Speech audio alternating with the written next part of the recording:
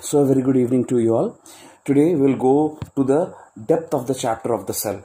As we know, for class 9th, yesterday we have started the chapter cell. Today, we'll go depth of it. Today, we shall learn what are cell organelles. Cell organelles are the very minute or fine membrane bound structure present inside the cell. They are multitasking.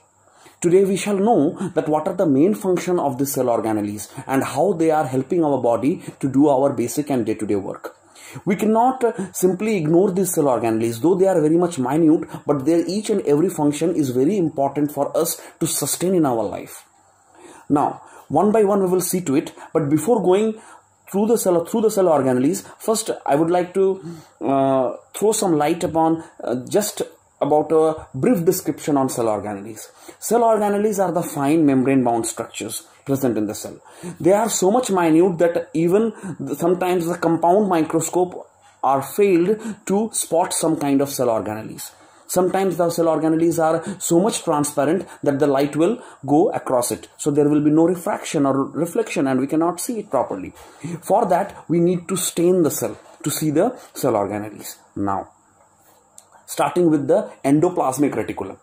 Endoplasmic reticulum is a kind of cell organelle which is known as the structural framework of the cell. Why? Because it provides the cell a proper structure. Now what is the proper structure? Like in our body skeleton system is there, right?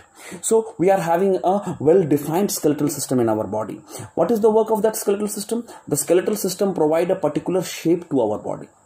Similarly, the endoplasmic reticulum is acting as a skeletal system for the cell it is providing a proper shape to the cell.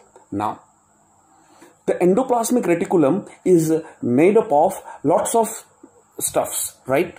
Like uh, vesicles, tubules, and cisternae. C-I-S-T-E-R-N-A-E, cisternae. It is given in page number 18 in your book. So cisternae is the fluid-filled spaces which allows the endoplasmic reticulum to work properly the tubules are fine network kind of things fine tube or network or tubular network kind of things which allows the endoplasmic reticulum to function properly and to do variety of function. Apart from this the vesicles. The vesicles are that part of the endoplasmic reticulum which helps the endoplasmic reticulum to transport whatever things the endoplasmic reticulum is processing. Like some metabolites like some uh, fats or some proteins it will help the vesicle will help that to transport it. Now the endoplasmic reticulum is having two parts SER and RER soft endoplasmic reticulum or smooth endoplasmic reticulum rough endoplasmic reticulum. You can use both the terms soft or smooth. Both are okay no problem at all. Now how are they characterized? How can we understand that it is smooth or rough or soft soft endoplasmic reticulum or smooth endoplasmic reticulum. It is not having any ribosomes present on its surface. But the rough endoplasmic reticulum do have the presence of presence of those ribosomes. Now, what happens is the ribosomes which is present in the rough endoplasmic reticulum helps in the synthesizing of the protein but since the uh, uh, smooth endoplasmic reticulum does not have any ribosomes, it helps in the synthesization of carbohydrates and fats. I hope this is understood. Now, again I will repeat it. Smooth endoplasmic reticulum does not have ribosomes, so it helps in the synthesization of carbohydrates and fats. Rough endoplasmic reticulum do have ribosomes. It helps in the synthesization of proteins. I hope it's clear to you. Now, next. Next are, of course, ribosomes. In page number 19, it is given. Now, what are ribosomes? Ribosomes are the small, small granular-like structure present in the endoplasmic reticulum. What are their function? As spoke earlier, that ribosomes will help the synthesizing of protein. But here, we need to understand two things. There are two units of ribosomes, larger subunit and smaller subunit. Both the units, larger as well as the smaller, together works and synthesize the proteins. For that, the smaller subunit, since it is having a smaller size but surface area is large, it will start the processing and larger subunit of the ribosome will end up the processing. You can also go through in page number 19, figure, table 1.6, the difference between rough endoplasmic reticulum and south, uh, sorry, uh, smooth or soft endoplasmic reticulum. Mark it as very important. Now, we'll go rough endoplasmic reticulum, smooth endoplasmic reticulum, the endoplasmic reticulum whole topic along with the ribosome ends here. Please do see the video properly and try to understand. Next one is mitochondria. What is mitochondria? Mitochondria is the powerhouse of the cell. Everyone knows from our childhood itself, we are being explained that it is the powerhouse of the cell. But how? How it is known as the powerhouse of the cell? Who has given the name as the powerhouse, powerhouse of the cell? Actually, what happens is the work of the mitochondria is very much typical. We need to understand it. There are two energy currencies in our body.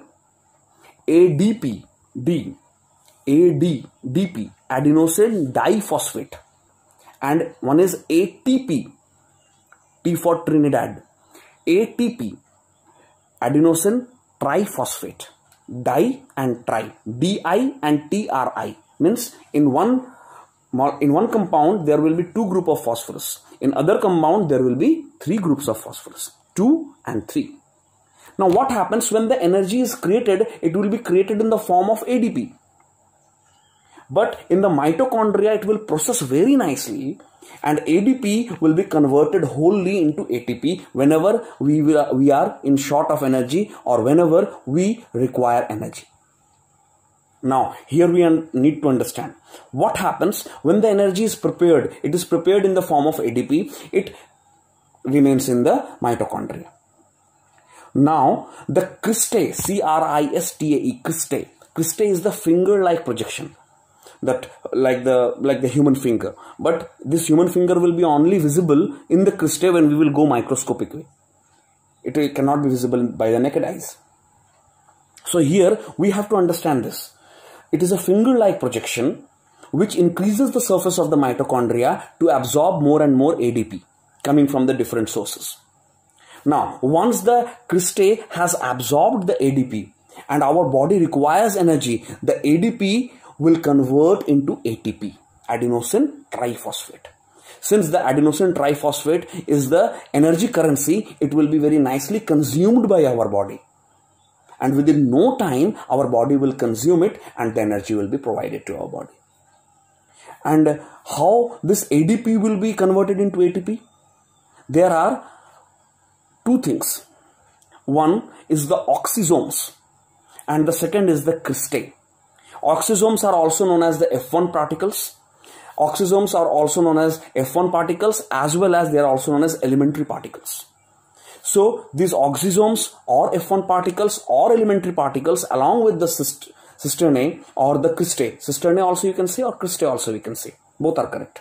The cristae or the cisternae with the help of this oxysome or F1 particles, what they will do?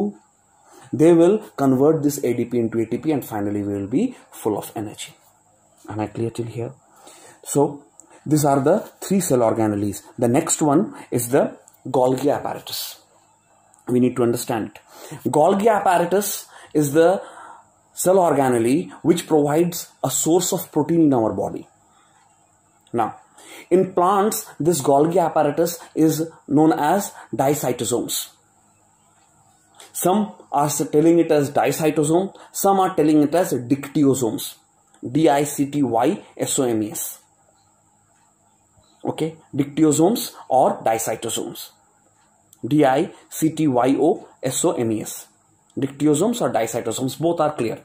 Both are okay, no problem in pronunciating. Now, this Golgi apparatus or dictyosomes in plants having several roles.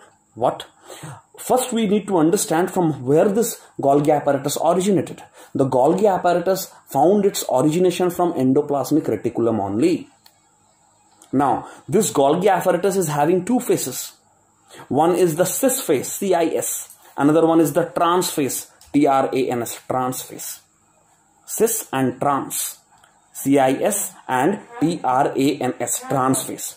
Cis phase and the trans phase. These are the two phases of the Golgi apparatus cis phase as well as the trans phase. So what happens is whatever the Golgi apparatus will get from the different sources, it will process in the cis phase it will get the processing in the cis phase. And finally the trans phase will deliver it. For example a protein came from endoplasmic reticulum. Fine. It will first reach the cis phase. Cis phase will process the protein and make the protein acceptable to the body. Finally through the trans phase the protein will be delivered out. I hope this will give you enough knowledge regarding this four cell organelles. Just go through the video properly see to the cell organelles match it with the text and then understand the video properly. Thank you. Next day, again, we will go through a, the different cell organelles. Thank you. Please go through the video properly.